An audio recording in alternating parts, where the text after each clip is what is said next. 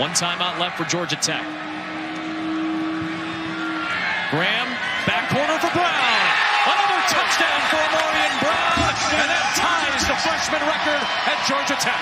What a ball.